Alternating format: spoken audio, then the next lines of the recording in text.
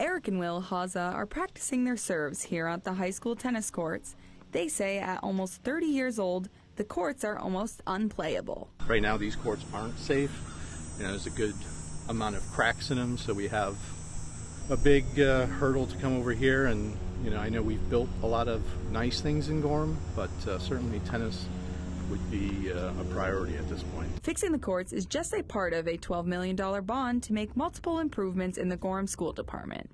They are also looking to fix the HVAC system at the elementary school and fix overcrowding at the high school. Space is, is the bottom line uh, at Gorham High School. As the population continues to grow in Gorham, School Superintendent Heather Perry says that means more money is needed for the schools to accommodate that growth. It was built or constructed for 750 students.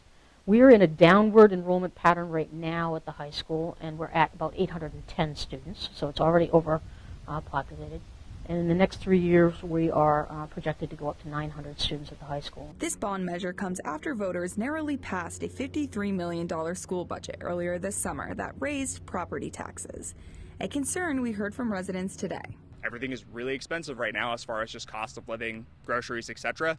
So in that aspect, I'm definitely against it, but as far as you know, having a better heating and air conditioning system for students, that's great. I'm definitely for that. Gorham residents will go to the polls and vote on this issue in November. In Gorham, Allison Lapierre, CBS 13 News.